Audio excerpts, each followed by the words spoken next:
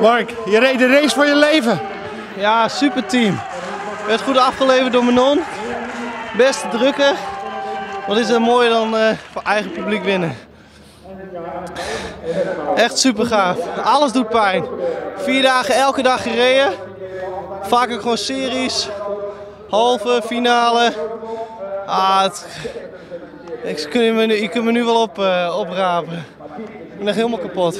Ik ga, ik ga je niet oprapen, maar je hebt wel op het allernieuwste onderdeel van een EK een gouden plak gereden. Ja, maar uh, met zo'n team uh, zat, het er ook, zat het er ook dik in. Ik bedoel, we trainen altijd samen. Dus we kennen elkaar door en door. Bij de wissels ging allemaal goed. En uh, ik werd perfect afgeleverd door Manon. Je snelheid, hoger heb ik hem nog niet gezien van je. Nou, nou misschien wel niet, nee. Klopt, het, was... Bij de wissel raakte ik de Italiaan. Ze kwam een beetje uit onbalans, maar ik kon perfect naar, om die Duitser heen uh, cruisen. Ik was blij dat hij in de binnenkant bleef. En uh, nou, gewonnen, daar gaat het om. Top, t-shirt. Ja, dit is de allermooiste gouden medaille. Wat een gaaf onderdeel.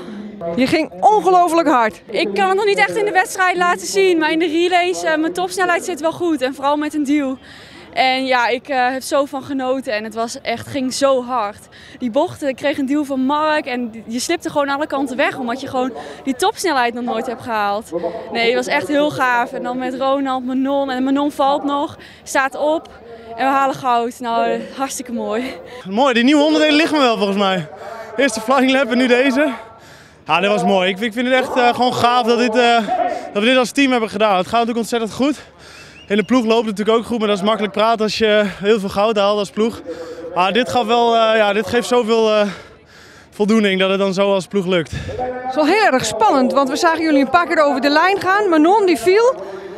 Spanningen aan de kant. Ja, het is druk hè, zes man. En het is ook onwennig omdat je dames aan moet duwen. En je weet gewoon, ja, als je het echt lanceert, en dat, dat gebeurt dan in de heet van de strijd, dan ga je natuurlijk... Uh, Ah, dan zie je gewoon dat ze de eerste bocht heel veel moeite hebben. Maar op zich, van tevoren dacht ik dit wordt heel spannend, maar ik vond het wel een heel mooi onderdeel. Een bijzonder compliment aan Manon Kamminga die na de enorme val het hoofd koel hield, een nieuwe helm ging halen en alsnog mee kon doen met de wedstrijd die uiteindelijk tot goud leidde voor Nederland.